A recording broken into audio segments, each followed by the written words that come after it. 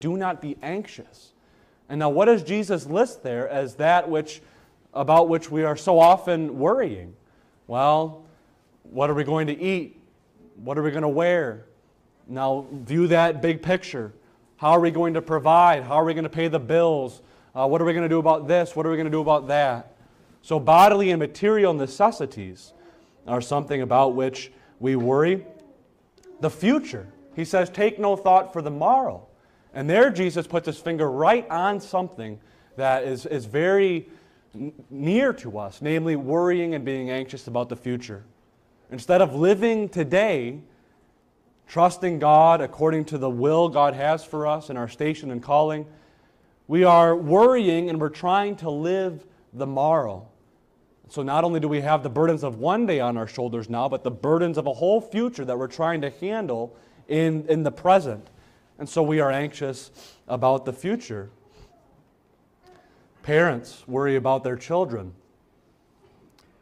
to the point of anxiety, to the point of if this is how bad it is right now in the world, what is it going to be like when our children grow up? What are they going to have to face? What pressures, what persecution, what tribulation, what threats? Even children are not immune from the kind of worry and anxiety that the apostle prohibits here. And in this increasingly technological age, with all with social media, cell phones, and all of that, that aggravates worries and anxieties even with regard to children, so that children are not immune from, from this kind of thing. Well, what's the result of that? Troubled hearts, troubled minds, no peace, nagging thoughts that you can't shake. Sometimes you can hardly take a step forward. It's that paralyzing. Well, the apostle understands, the inspired apostle understands that we face things that can be the occasion of worry and anxiety. He knew the Philippians had that before them. He knows, and, and God, through the apostle, writes this word for us now in our own particular circumstances of life. And he says, Be careful for nothing. Don't be anxious about anything.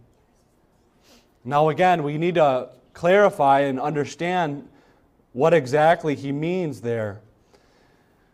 Be careful for nothing does not mean do not be diligent, do not be prudent. Be careful for nothing does not forbid a kind of prudent uh, forethought with regard to things that are going to that we're going to face in the future, etc.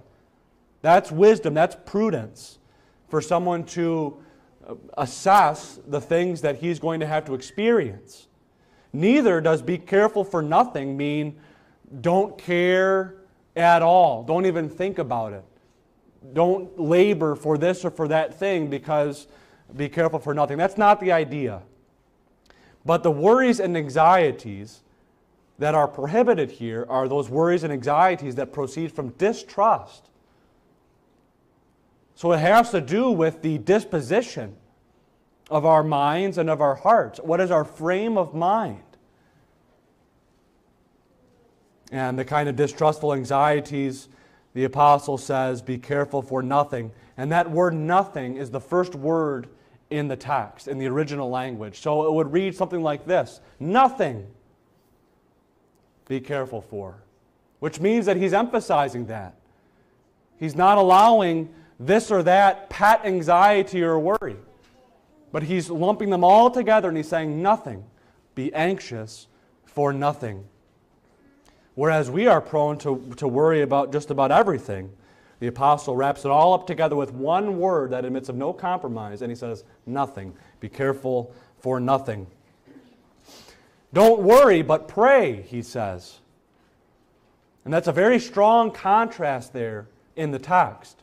Be careful for nothing but Picture that word but in all capital letters there, underscored, italicized. But in everything by prayer and supplication with thanksgiving, let your requests be made known unto God. That's a beautiful contrast. Don't worry, but pray.